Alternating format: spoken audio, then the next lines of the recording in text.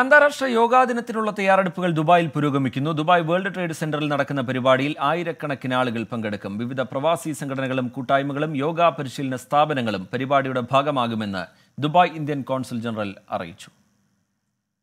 Dubai world trade സെന്ററിൽ June ഇരുപത്തിരണ്ടിന് F O I ഇവന്റ്സിന്റെ സഹകരണത്തോടെ ഇന്ത്യൻ കോൺസുലേറ്റാണ് പരിപാടി സംഘടിപ്പിക്കുന്നത്. വൈകിട്ട് അഞ്ചു മണിയോടെയാണ് പരിപാടി ആരംഭിക്കുക.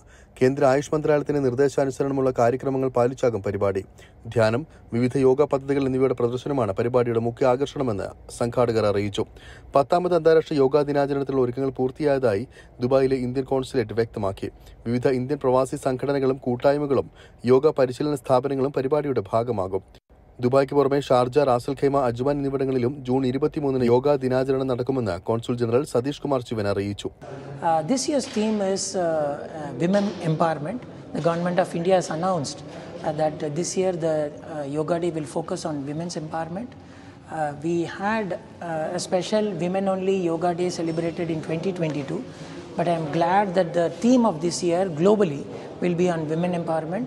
As we, call, as, as we all can see, uh, empowering women is very critical to families' physical, mental, financial uh, health.